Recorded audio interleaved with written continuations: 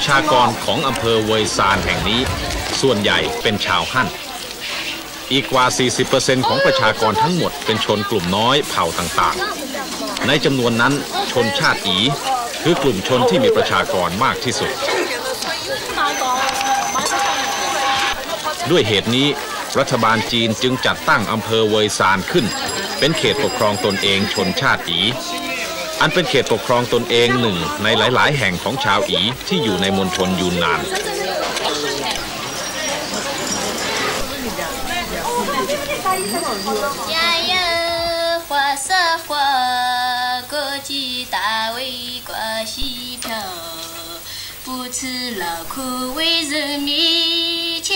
ชาวอีคือชนกลุ่มน้อยที่มีประชากรมากที่สุด ในจำนวน 24 ชนกลุ่มน้อยทั่วมณฑลยูนนาน ใช้ชีวิตตามรูปแบบของตนเอง ที่ไม่นิยมพักอาศัยอยู่ในเมืองใหญ่ หากยังดำเนินตามรอยบรรพชนที่มักตั้งบ้านเรือนอยู่รวมกัน เป็นกลุ่มชุมชนในบริเวณที่ราบสูงและเขตภูเขา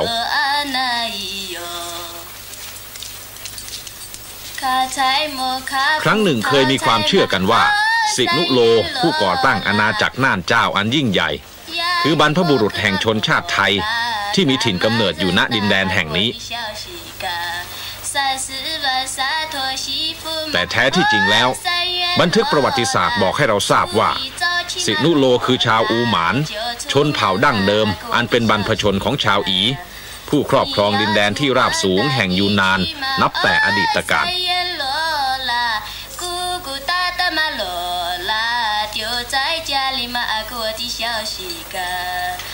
ตราบจนปัจจุบัน เผ่าพันธุ์ซึ่งนับถือสินุโลเป็นบรรพชนผู้เกรียงไกรเหล่านี้ ยังดำเนินชีวิตดังเช่นเก่าก่อนไม่เปลี่ยนแปลง กับการประกอบอาชีพทางการเกษตรที่ปลูกข้าวเป็นหลัก โดยอาศัยที่ราบตามเชิงเขาเป็นพื้นที่สำหรับการเพาะปลูก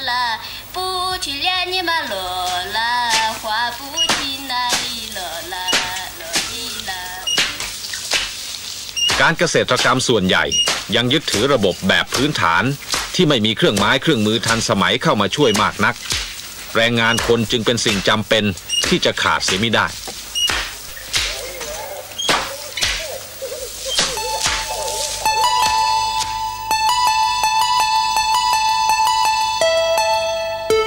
บ้านเรือนซึ่งเรียงรายอยู่ตามเชิงเขา มีรูปร่างไม่แตกต่างไปจากของชาวฮั่นทั่วไป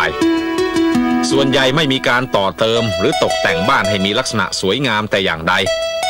นอกจากเป็นบ้านสำหรับอยู่อาศัยเท่านั้น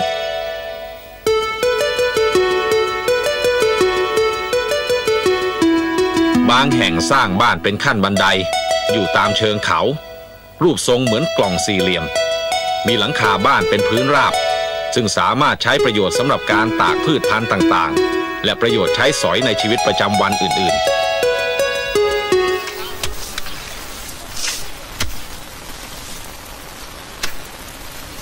กรรมวิธีในการสร้างบ้านของชาวอีไม่ใครจะยุ่งยากมากนัก วัสดุส่วนหนึ่งได้มาจากสิ่งที่อยู่ใกล้ตัว คือฟางที่สับเป็นชิ้นเล็กนำไปคลุกเคล้ากับดิน เป็นส่วนผสมสำหรับการทำดินกี่ หรืออิฐไม่เผาไฟ ซึ่งชาวอีใช้ในการก่อผนังบ้านเป็นส่วนใหญ่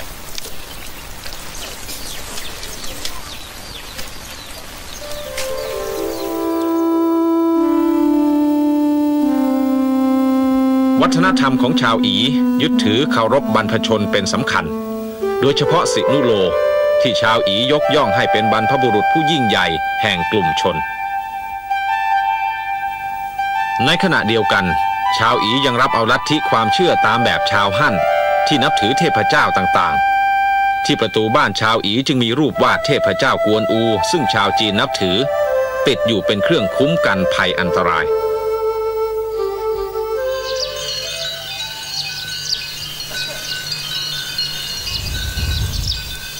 บริเวณอันสงบแห่งนี้คือวัดหลงหวีถูสัน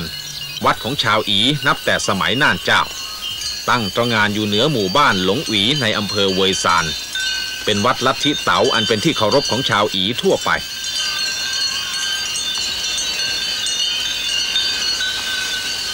ด้วยเป็นวัดเก่าแก่ อีกทั้งยังตั้งอยู่ในบริเวณซึ่งเคยเป็นดินแดนเมื่อแรกเริ่มก่อตั้งอาณาจักรน่านเจ้า ความสำคัญรวมกับแรงศรัทธาของผู้คน ทำให้วัดเต๋าแห่งนี้ดูสง่าสวยงาม ยิ่งกว่าบ้านเรือนของชาวอีมากมายนัก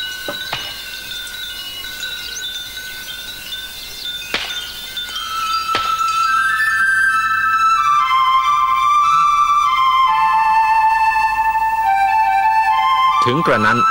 ชาวอีก็มีวัฒนธรรมอันงดงามเฉพาะตนที่สามารถบ่งบอกลักษณะของกลุ่มชนได้อย่างชัดเจน นั่นคือเครื่องแต่งกายของผู้หญิงชาวอี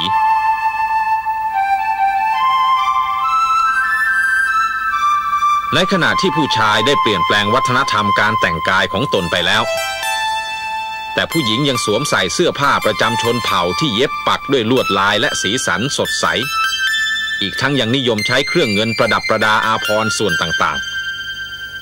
ๆ แผ่นผ้ารูปวงกลมที่กลางหลังนี้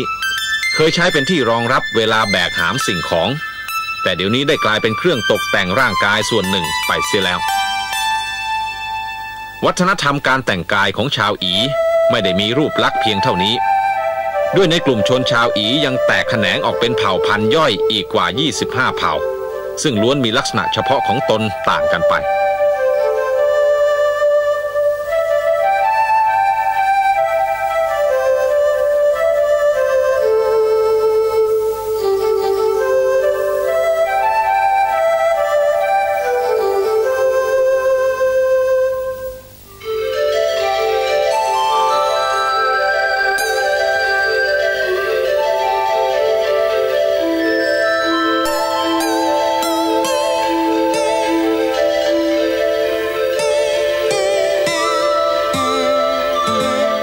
จากคุนหมิงเมืองศูนย์กลางของมณฑลยูนนานไปราว 100 กิโลเมตรเศษ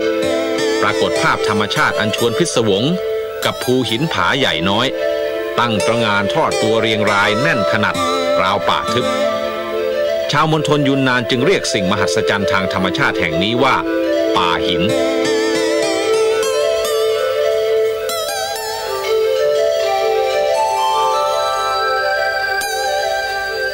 ลมฝนที่ค่อยๆ กัดกร่อน เป็นเวลานับล้านปี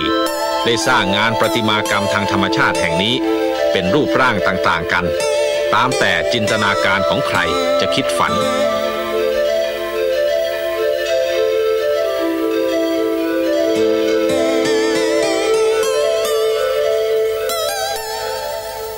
รอบๆป่าหินอันกว้างใหญ่นี้ คือถิ่นอาศัยของกลุ่มชนชาวอีเผ่าหนึ่ง ซึ่งมีวัฒนธรรมเฉพาะตน น้ำแห่งเผ่าพันธุ์เป็นที่รู้จักโดยทั่วไป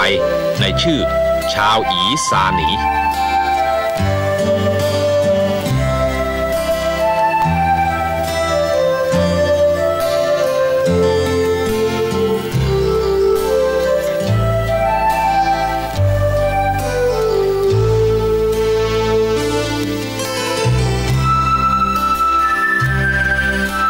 วิถีแห่งเผ่าพันธุ์ชาวซาหนี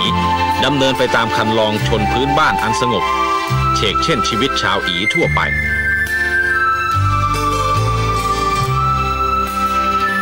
หากสิ่งซึ่งสามารถบ่งบอกความเป็นชนชาวซาหนีได้เด่นชัด ก็คือการแต่งกายของผู้หญิง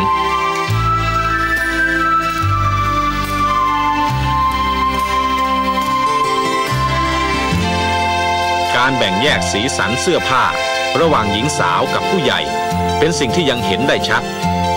อาพรณ์ของหญิงสาวจึงดูสดใสงดงามกว่า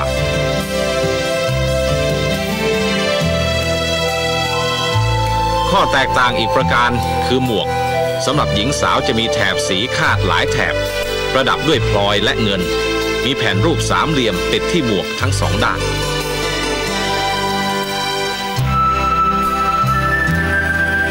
ส่วนของผู้ใหญ่จะมีแถบสีน้อยกว่า ไม่ประดับพลอยและเงิน รวมทั้งไม่มีแผ่นสามเหลี่ยม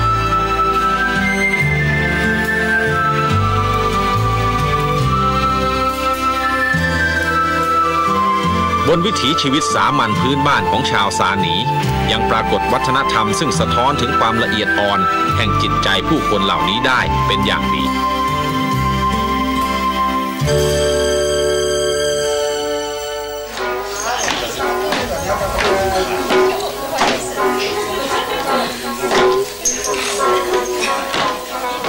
เสียงหลูเซิงก้องกังวานทั่วสารเจ้า ที่ซึ่งชาวอียังใช้รวมเป็นที่ประชุม และประกอบกิจกรรมต่างๆ ของหมู่บ้าน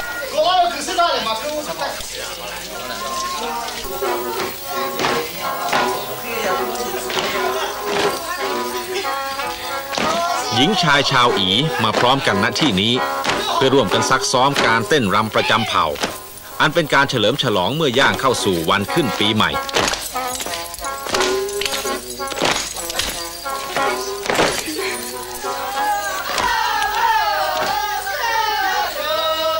การซ้อมเต้นป่าเกอเริ่มขึ้นอีกครั้งอย่างแข็งขันสำหรับชาวอีนี่คือการน้อมรับปีใหม่ วันใหม่ด้วยความสดใสสนุกสนาน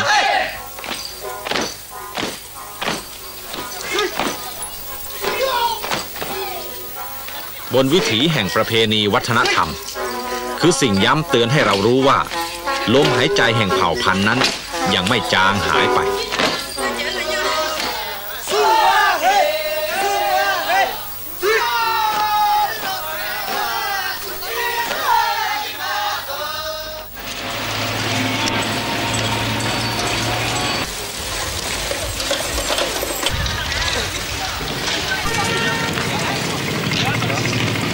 ามเช้า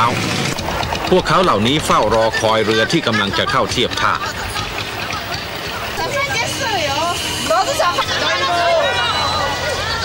กระทั่งเรือโดยสารซึ่งแล่นข้ามทะเลสาบเอ๋อไห่ได้มาถึง กิจวัตรของคนเข็นรถรับจ้างก็เริ่มขึ้น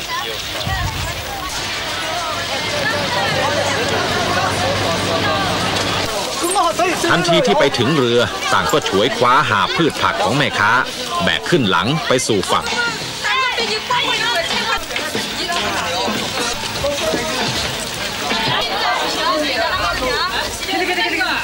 ชีวิตที่โลดแล่นอยู่ณที่นี้ คือส่วนหนึ่งของวิถีแห่งชนชาวไป ชนกลุ่มน้อยในมณฑลยูนนาน ผู้มีความผูกพันกับดินแดนแห่งนี้มาเนิ่นนาน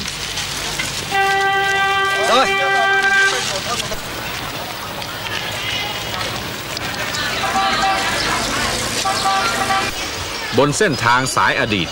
ชาวไปคือกลุ่มชนอันยิ่งใหญ่ ผู้ก่อตั้งอาณาจักรต้าหลี สืบต่อจากอาณาจักรน่านเจ้า ปัจจุบัน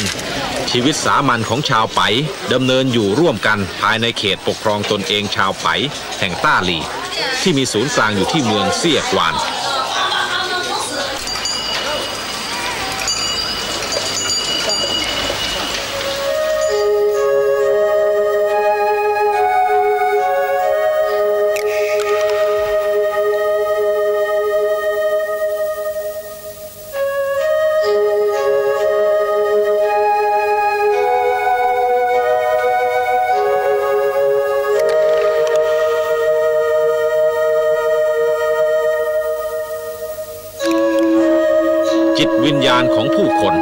ดำรงอยู่ด้วยความผูกพันอันแน่นแฟ้นกับดินแดนแห่งนี้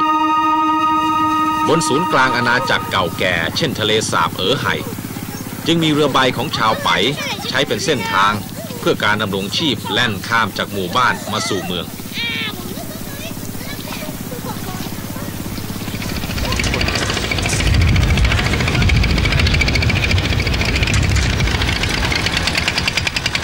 ทุกวันในตอนเช้า เรือใบลำเล็กหลายสิบลำ จะทยอยเข้าเทียบฝั่งแม่น้ำซีเออ ซึ่งแยกออกมาจากทะเลสาบเอ๋อไห่สินค้าที่บรรทุกมาเต็มลำเรือ คือหินและทราย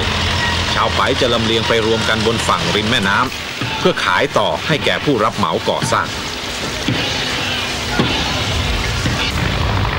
เป็นภารกิจอันเหนื่อยยาก ซึ่งต้องใช้แรงกายทุ่มเทไปไม่ใช่น้อย หากค่าตอบแทนที่ได้รับนั้น ก็ดูจะเพียงพอกับความเหน็ดเหนื่อยของพวกเขาเหล่านี้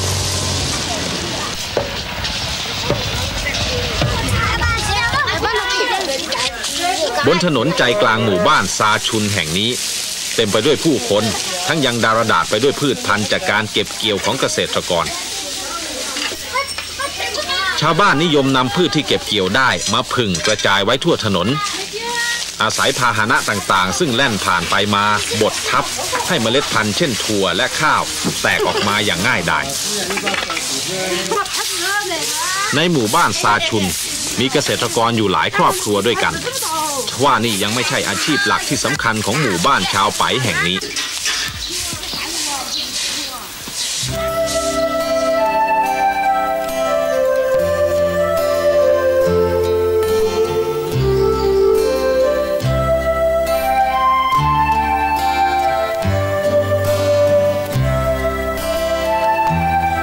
ตัวหมู่บ้าน ตั้งอยู่ริมฝั่งทะเลสาบเอ๋อไห่แหล่งทรัพยากรทางน้ำอันอุดมสมบูรณ์ของต้าหลีส่งผลให้ชาวไปแห่งซาชุน ประกอบอาชีพประมงน้ำจืดเป็นส่วนใหญ่ นับเป็นเวลาหลายชั่วอายุคน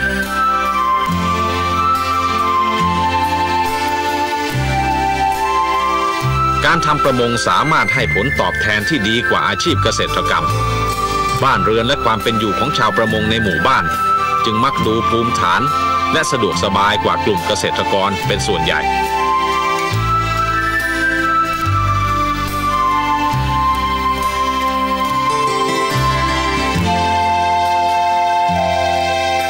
อาชีพประมงในหมู่บ้านแห่งนี้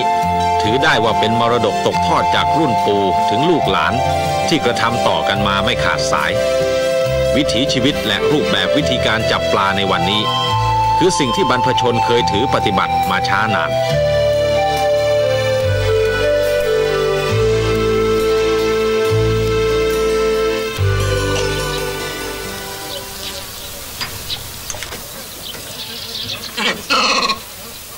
สุยเหล่ายาที่ชาวไปเรียกกัน คือนกในตระกูลนกกาน้ำที่มีความสัมพันธ์กับการทำประมงของชาวไปณที่นี้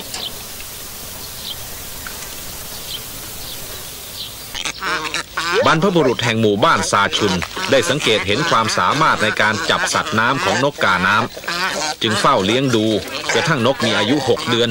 อันเป็นช่วงที่นกเริ่มออกจับปลาได้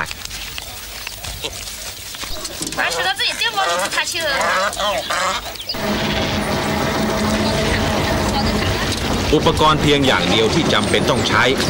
ก็คือเชือกสำหรับมัดคอนก คอให้กระชับ เพื่อบังคับไม่ให้นกกลืนปลาที่จับได้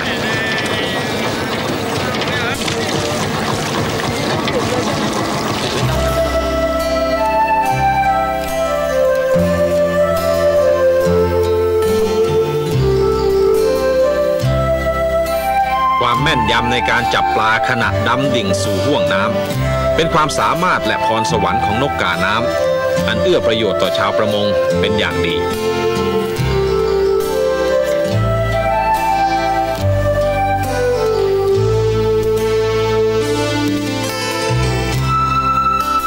และคราใดที่นกจับได้ปลาใหญ่ ก็จะได้รับอาหารคือปลาตัวเล็กเป็นรางวัล ทุกวันนี้ ชาวประมงต้องซื้อนกมาเลี้ยงในราคาตัวละกว่า 600 หยวน แต่ก็โดยอาศัยความสามารถของสุยเหล่ายา หรือนกกาน้ำเหล่านี้เอง ที่ช่วยโอบอุ้มฐานะความเป็นอยู่ที่ดีของพวกเขา